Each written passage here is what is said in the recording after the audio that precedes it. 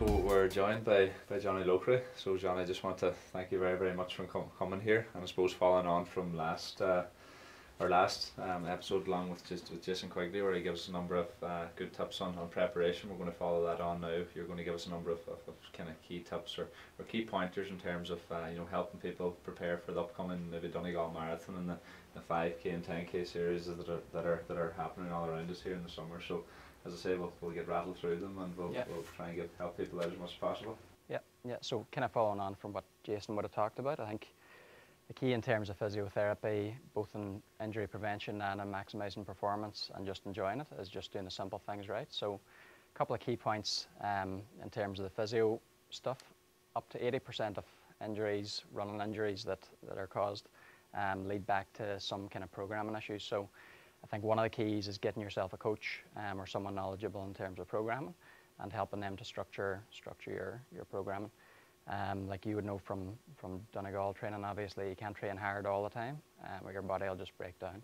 Same with, with running injuries. So like the some of the best 5k runners in the world will run 5ks very seldom okay but 90 plus percent of their training is focused on different um, distances different speeds um, and fluctuations in, in intensity and, and volume and stuff like that so um, getting someone who knows what to do and, and kind of structuring the programs Important. really important yeah. massively Yeah. important. I suppose that Yeah. is a key key ingredient. I suppose we can tend to go out and want to go as hard as we can every Aye, single night. And um, We're all guilty I think the uh, important thing now is trying to, the whole buzzword out there at the moment is recovery and trying to recover as best we can from from various uh, sessions. So as I say, that's a very very key point, definitely. Aye, so I think the the other thing as well, like aside from the programming, like you were just mentioning there, if you're if you're under recovering, so if you're not recovering well enough in terms of your sleep um, or your nutrition, then then your your performance is gonna gonna decrease and the likelihood of injury increases.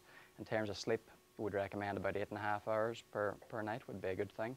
Um, try not to substitute your eight and a half hours by maybe getting six or seven and trying to get a power nap because studies have shown that that power nap's not as beneficial. So eight and a half good solid hours at night is, is the way to go. Um, nutrition, get into contact with a nutritionist um, or someone who can kind of steer you in the right direction, making sure you're getting all the, the good nutrients into the body and fueling, fueling things well as well. Very good. Uh, Again, key the nutritional element of it. I think Yeah. people can can Yeah. I suppose can really try and make the nutrition element very complex. I think it's again like what Jason was on about to keep things very very simple Yeah. and look at I suppose in the form of, of how to fuel fuel a car properly, getting the significant amounts of protein in to help the, Yeah. the muscles recover Yeah. and, and even maybe grow stronger, and then also the, the carbohydrates that are that are needed in terms of trying to Yeah. give you that little bit Yeah. of energy. Yeah, and it's the simple things. It's like you don't need to spend a lot of money on supplements. It's just getting your, your basic um, ingredients in and just eating healthy, eating clean food. That's, that's the main thing. Um, the other thing in terms of injury prevention and maximising performance is going to be strength work. Um, most kind of importantly would be even looking at issues around the foot, um, ankle, Achilles, knee, is going to be maximising hip strength. So a lot of the time whenever someone comes through the door with an injury, kind of anywhere in the lower limb, one of the first areas that we kind of zone in on is the hip, um, making sure the muscles at the back of the hip, outside of the hip, inside of the hip are strong enough to, to kind of improve your, your mechanics when you're running. Um, the more research shows, the more rotational forces you have in your upper body or lower body, so the more twisting and turning you see people doing, the more energy they're wasting in that way. Um, so they want to be trying to focus on getting as much energy into forward motion as they can with kind of as little rotational stuff going on as they can. Yeah. I suppose the number of maybe key running injuries that you might come across now, you know, you think about it, road running is bound to be sore for maybe the, the average person like myself who looks upon road running, you think it's bound to be very, very sore in the joints and the bodies and tightnesses and maybe people get injuries around the Achilles, ankles, hamstrings, you know, quads, I suppose, a bit of advice in terms to overcoming those or trying to get Yeah. them stronger. Like one of the yeah one of the key things is just that you know there's no best way to run so kind of there's no one size fits all um, whenever we're looking at running analysis in the clinic um, and doing the run well stuff we tend to focus in as would yourself doing the, the gait stuff here in, in the shop um, it's really looking at the way someone runs and then looking to make minor changes to it to see if we can offload certain structures or place more pressure on, on other structures that, that are able to take the, the workload. Whenever we're thinking about running injuries, Um, the most common type of run injury we'd see through the door are knees. So coming up to the Donegal Marathon, we'd see loads of people complaining of niggles in around the knee joint. Um, the easiest way to offload the knee joint is to do something um, with your cadence. So cadence is just how many steps you take per minute. Um, and if we can change your cadence and increase it by about 10%, then research has shown that you take about 14% pressure off the knee. Okay, so say if someone's dealing with a little niggle in around the knee joint, if we can alter their cadence and make them run taking more steps per minute, um, some runners find that that just clears up their symptoms straight away and they can they can continue on. Very interesting. With cadence, Yeah. I mean, actually Yeah. short and straight or take less, Yeah. less or The easiest way to do it, because um, things can be overcomplicated as well. So I tend to tell people just to relax into it. And the easiest thing is if they use, we have a free app on the mobile phone. Um, we can put down a link to it. It's called Tap Tempo. Okay. Um, and you can check your cadence using Tap Tempo or a digital metronome. And then what they can do is they plug in or type in whatever cadence it is that they want to use on, on the metronome. Um, and they just use it and it'll give them a beep. So every time the metronome beeps, they just focus on taking a step.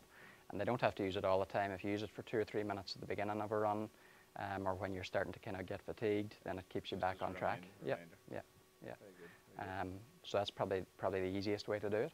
Um, and a lot of people, you know, will say, "Oh, I, I don't think I can change my running technique. It's too difficult." But you know yourself, even from golfing, if you get, you know, a couple of little lessons and tweak your, your swing here and there, it makes a, a massive difference. Yeah, just getting something small reminder. I think a lot of Yeah, us can, um, if you're looking for help, you get bamboozled with, Yeah. You know, 8, 10, 12 key points and you just end up just Yeah. bamboozling yourself and getting confused and getting quite scared. Yeah. Whereas I think with yourself, with what you're speaking about there, or in terms of getting a golf tip or a golf lesson, you just keep it very simple, one point each day, and trying to improve it ever so gradually and ever so slowly, and make small changes that can make a, it can end up making a making a massive difference and a massive change to, to behaviour. You know. Yeah, yeah, yeah. Yeah, so I, I suppose that's probably the biggest thing, just to summarise it again, would be, you know, focusing on getting, getting help or a structured program off someone that involves, you know, easy runs, hard runs, um, and getting kind of every element in, making sure you get all your good food in to fuel the body and, and kind of assist in the recovery process, um, eight and a half hours sleep every night, um, factoring in rest days where, where appropriate, and then just in terms of your running technique, the best advice I could give someone if they were looking to change anything would be just um, to maybe think about altering their cadence a slight bit, particularly if they're starting to feel anything in around the, the knee. Excellent, thanks Yeah. a million, John. Well, again, I think that's nice, simple, clear, clean advice. Um, I think that could help people massively. Um, Yeah. As I say, making them small, small changes can help people, I suppose, improve Yeah. performance is what they want to do and, and minimise the, the, the, the likelihood and chances of an injury and recurring injury. So, Yeah. Um, thanks a million for coming on yeah. here today. I really, really appreciate it. And um, as I say, no doubt people will be coming in to, to, to get themselves checked out. Yeah, good. Thanks, Michael.